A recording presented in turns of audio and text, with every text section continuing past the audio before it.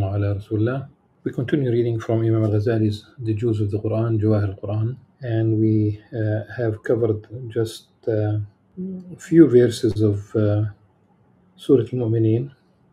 Imam al-Ghazali chose 29 uh, verses and uh, I have tried to um, reflect on the uh, story of creation and how uh, the scientific literature is misleading people about the uh, evolution.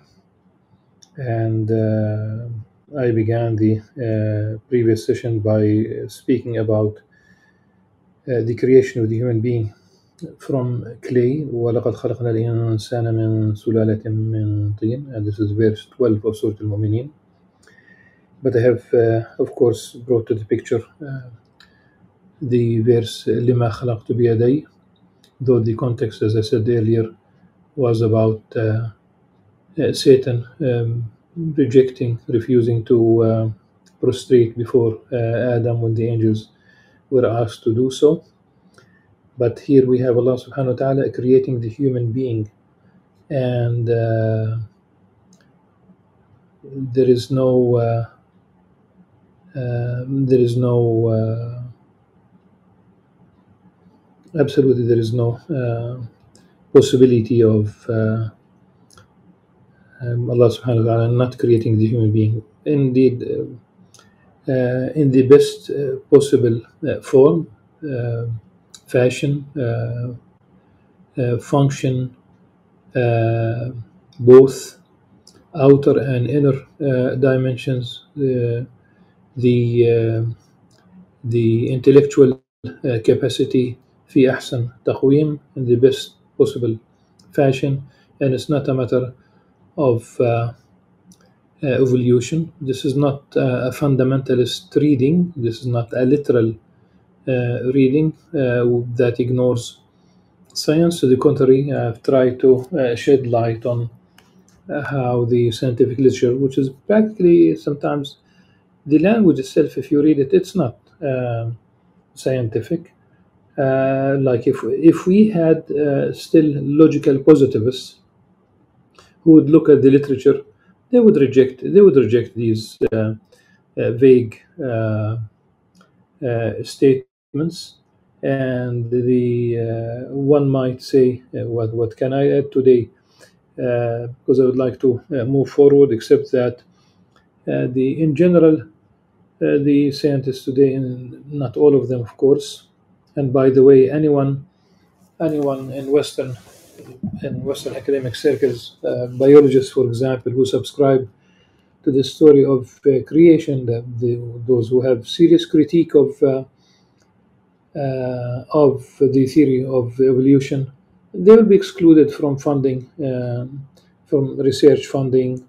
Um, sometimes even they might not be hired, or uh, so they face the uh, uh, they face the wrath of the uh, evolutionary lobby, if you if you will, and in general the the the pseudoscientific literatures insist on 1.2 percent difference only uh, between um, the uh, ch- the chimpanzees and the uh, human beings in terms of the two um, uh, genomes. But this is really already, if you just uh, if you just sim- simply think about the 1.2 percent, this would be uh, 40 million uh, single base uh, pair substitutions. Uh, um, but this is 1.2 percent. These 40 million uh, single base pair sub- substitutions. This will be um, considering the part that is included in the study. They do not include the uh, the uh, part of the uh, the human genome that that is excluded from about one third, really, from these comparative studies. And if you look at the after the the the the complete uh, sequencing of the uh, human genome, there was, of course, the chim chimpanzees were next, and the literature when they they definitely they do not know the the function of many of the um, of the uh, many parts of this uh, uh, chimp genome, and they resort to uh, uh, hypo hypotheses of uh, of mutations to explain the difference between the chimpanzees and the human beings. Why these mutations stopped taking place? Why we are not evolving beyond the you know the the way we are uh, right now uh, uh, Uh, many things one can um, talk about. Ultimately um, it's the it is Allah subhanahu wa ta'ala who created the human uh, beings. And in the uh, there is some details there in the subsequent verses ثم جعلناهم نطفة في قرار مكين ثم خلقنا النطفة علقة فخلقنا العلقة مضغة فخلقنا المضغة عظاما فكسونا العظام لحما ثم أنشأناه خلقا آخر. فتبارك الله أحسن الخالقين. And then we spoke about the uh, that after uh, all this the creation coming into existence being born uh, for the origin of this uh, of the uh, uh, of the human beings is Adam alayhi salam, and we we are simply born even even when we talk about a miraculous birth Jesus Christ being the word of God to to Mary Maryam alayhi salam.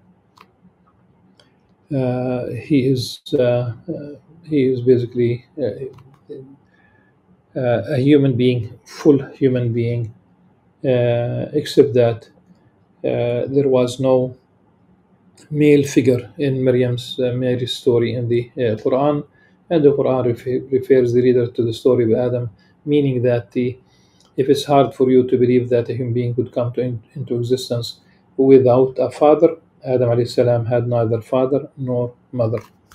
So it, it has to uh, begin with uh, uh, at one point without evolution. And if you if you look at the the human skulls that were found and they were given pseudoscientific stories and the way they paint them, the way they draw them.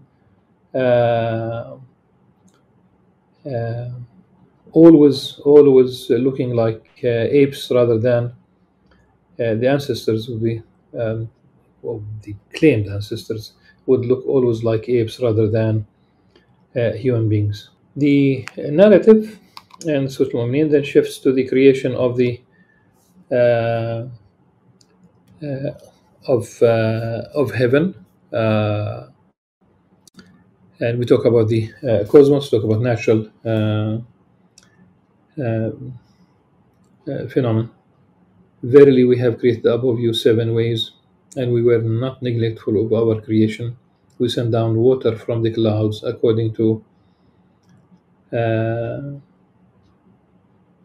to measure, and we cause it to stay in the earth. We are certainly able to take it away with water. Uh, the the context is basically about being sent down from uh, the clouds, we produce for you gardens of date palms and vineyards, in which there are abundant fruits for you, and of them you eat. Also, uh, with water, uh, we um, produce the tree, the olive uh, tree, which springs forth from Mount Sinai, containing with it oil and relish uh, for those who eat it. In the cattle there is indeed a lesson for you. We provide for you drink out of that which is in their bellies, milk, that is, and you uh, derive many other benefits from them. The flesh of some of them you eat. On them and on ships uh, you are borne, you travel basically. It's their their skin, their their uh, the wool, the hair. Uh, then it goes back to uh, the narrative. Of course, this is this is not immediately the uh, uh, after that. So uh, after verse 22, it goes into verse 78, and then back to the human being and the human senses. But let's talk about the the uh, uh,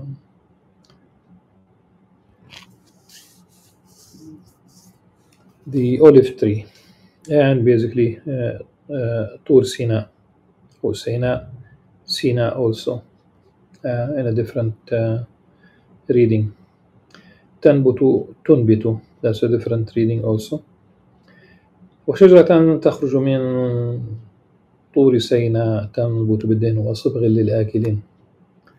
This, uh, uh, of course, in the translation, uh, Mount Sinai is written with capital letters. And uh, let me uh, say that Imam al-Sha'rawi, uh, uh, one of the uh, most uh, important exegetes of the Quran in, in the uh, uh, 20th century, when he reflected on this particular verse, he said, Tur is Jebel mountain. So it could be any uh, mountain. And Sina, he said, the uh, nice, the, talk about the etymology of both. Uh, Sina is the uh, nice, uh, nice place. But he said this is in uh, in the uh, Holy Land, and we do have until today. Um, I'm not saying this in the uh, absolute uh, term, this, but this is a uh, at least a valid uh, interpretation. We do have in Jerusalem uh, a mountain which is called Jabal al-Tur. Uh, uh, and uh, it is also called Jabal al-Zaytun. So uh, Mount of Olives and the uh, the mount mount of the of mount of the mount, if you will, on the bit of uh, etymology. But here we have Tur is mentioned.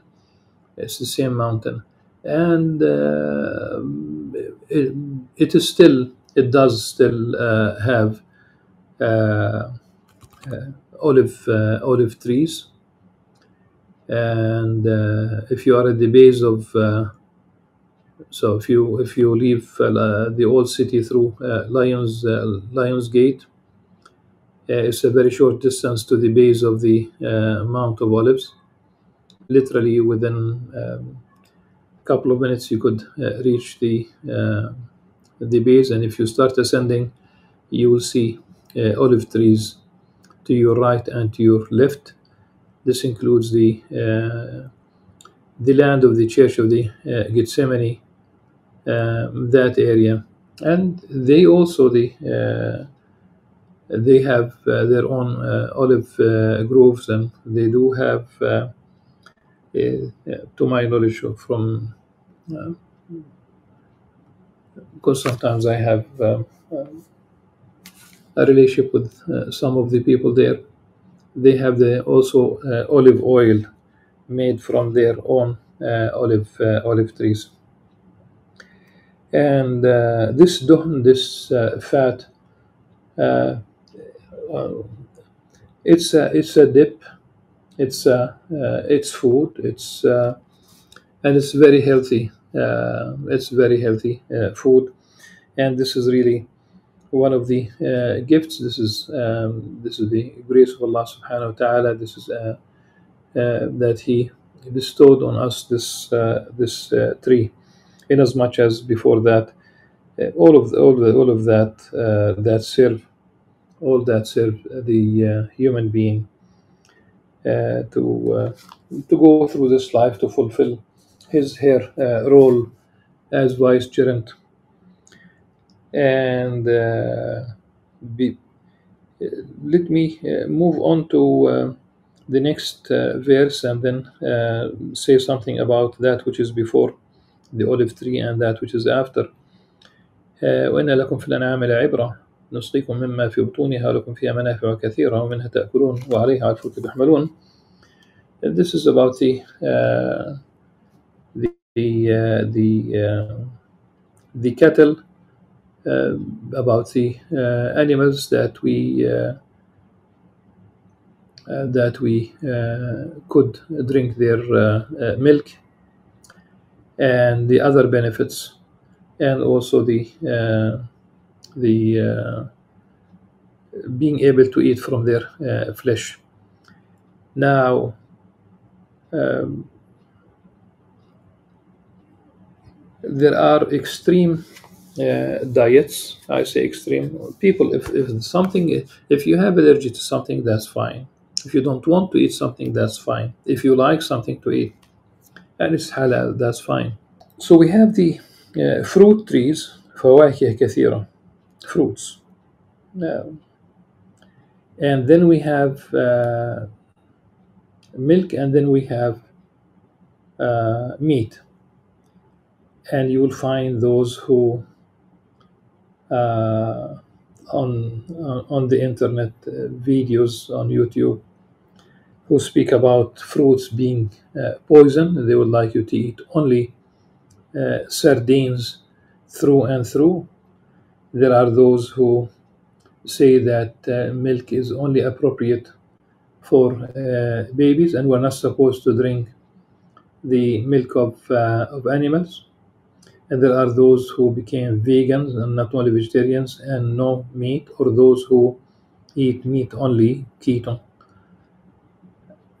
Moderation, simply moderation. Again, if you if you are not raised re- eating something, you are free, even if it's a personal choice. But do not go into uh, extremes. Allah subhanahu wa ta'ala availed all this for us. If you personally uh, do not feel like eating something, that's fine. Don't make an ideology out of that. Then the narrative uh, moves to the uh, human uh, senses. Uh, he it is who has made for you ears, eyes, and hearts. Hearts here we talk about the intellect, we talk about reason. Little gratitude you show. He it is who has multiplied you in the earth, and to him you will be gathered. He it is who gives life and causes death, and he controls the uh, alternation of night and day. Will you not then understand? The uh, the cycles in nature uh, do uh, help us understand uh, the life and death uh, cycle. The, you know, spring, that's exactly birth of, uh, in a in a sense, out of a, out of a sudden things bloom. They come to life. Flowers, green, um, fruits, vegetables, and uh, uh, summer things start to dry up. Uh, autumn, if it's not an evergreen, then you see uh, uh, barren trees where the uh, leaves fall. We love in I know that in the in many parts in the world, in the north, like in in, in the northeast in the United States, you you would love to see the foliage, which is really the uh, the green leaves becoming yellow, orange, red. Uh, so a drive through uh, the the mountains is so beautiful, but that's really in if you talk about the the equivalent in uh, human being, and that's basically people who, in general, not only old people, but old people before death becoming yellow and that yellowish is not because of jaundice, it's not because of hepatitis B, it's because they have uh, they, they they have lost that vivid uh, look, uh, and simply it's a sign of uh, uh, deterior- deterior- that the health is uh, has deteriorated. And now regarding the senses, today uh, we know very well that uh, children do babies feed the fetus. At one point they do hear the uh, the noises in the uh, uh, in the in the mother's belly in the intestines. So the whether it's the heartbeat and so um, it might explain uh, why babes they feel comfortable being uh, hugged and uh, because they could still listen to the uh, heartbeat of the of their mother. But they do hear. Seeing subhanallah so it's basically sama wal absar. You will never find uh, al basar before sama in the quran.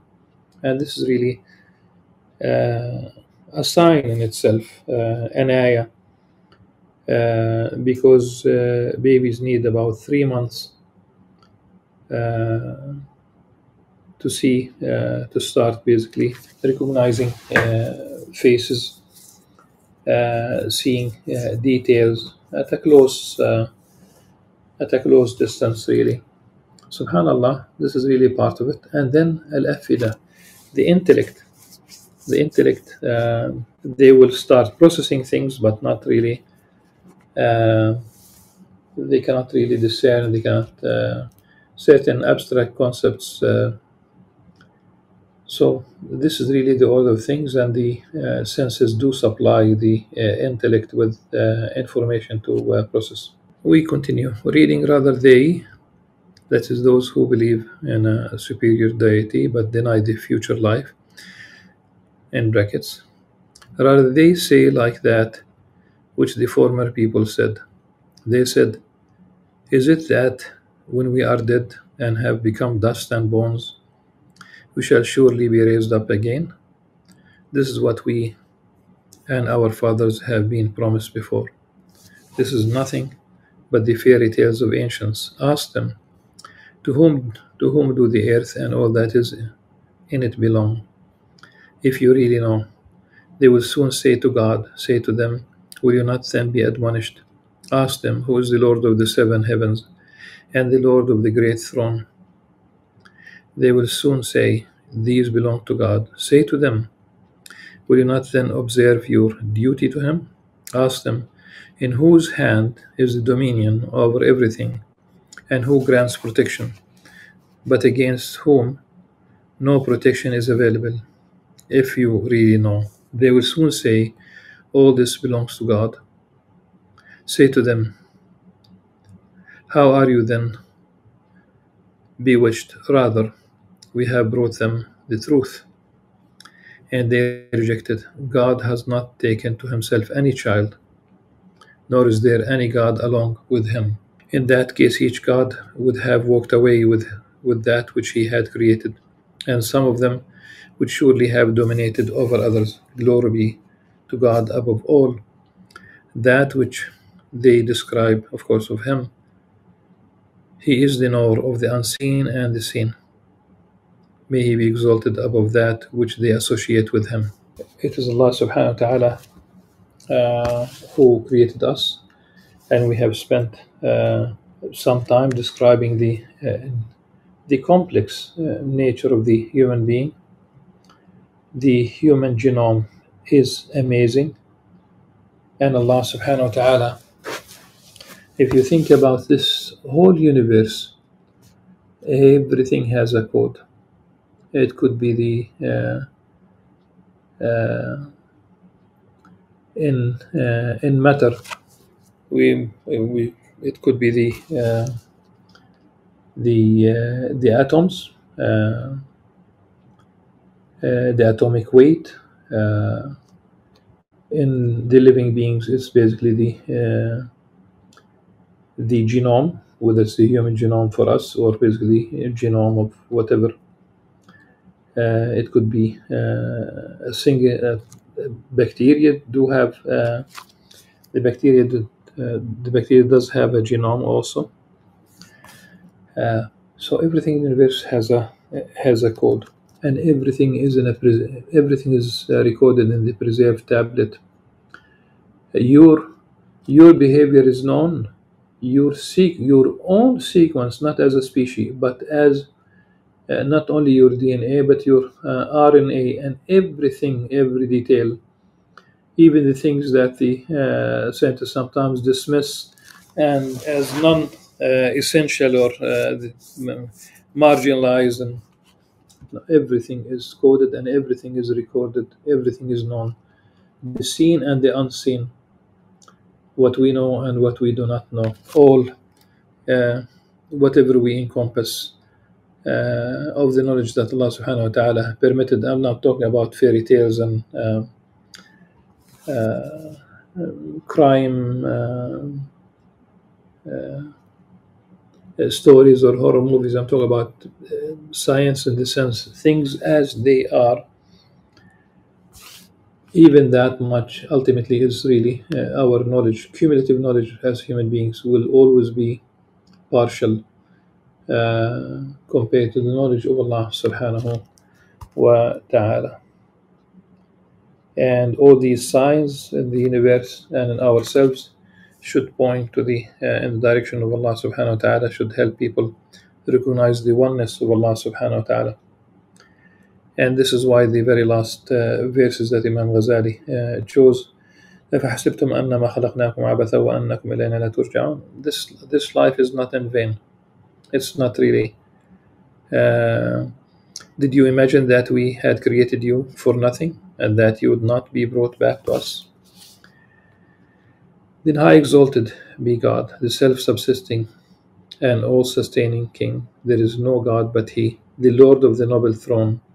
He who calls upon other God than God, than Allah subhanahu wa ta'ala, along with Him, along with God, for which He has no proof, shall render an account of it to His Lord. Surely the disbelievers will not be successful. Pray, my Lord, forgive and have mercy, for you are the best of those who are merciful. وقل رب اغفر وارحم وأنت خير الراحمين والحمد لله رب العالمين So inshallah uh, in the next session we will uh, start reading from uh, Surah An-Nur uh, nine verses to be more specific Until then سبحانك اللهم وبحمدك أشهد أن لا إله إلا أنت أستغفرك وأتوب إليك السلام عليكم ورحمة الله وبركاته